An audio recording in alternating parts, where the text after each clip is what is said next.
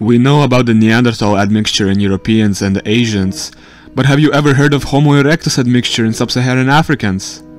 15 individuals from three sub-Saharan populations, Sandawe, Pygmies and Hadza, were genetically tested. Their genome was compared to that of other human populations. Unique clusters of SNPs were used to identify archaic admixture in these hunter-gatherers.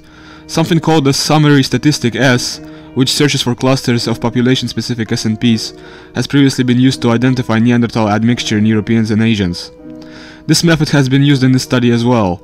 The TMRCA value in the study stands for the time of the most recent common ancestor. The mean TMRCA for all unique windows of SNPs 750k years. The study found a single 100k B window that is highly divergent in all three populations, located 41 kb downstream of the PRDM 5 gene involved in bone development, suggesting that each African hunter-gatherer population has been subject to different local selective pressures. Among the populations examined, Pygmies had the most genetic variation.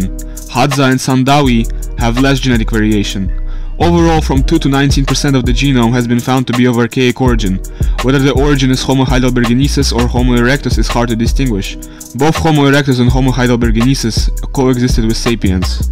Fossil evidence of Homo erectus stretches over more than 1.5 million years, making it by far the longest surviving of all human relatives. Homo erectus appeared in Africa about 2 million years ago, evolving from either a late form of Australopithecus or one or more primitive forms of Homo, and went on to spread into many parts of Asia. Homo erectus most likely intermixed with humans. Homo erectus cranial capacity was about 550 to 1250 cubic centimeters. Homo erectus is named such for being the first human to walk on two legs. Homo heidelbergensis is, is an even more likely candidate for intermixing with Homo sapiens.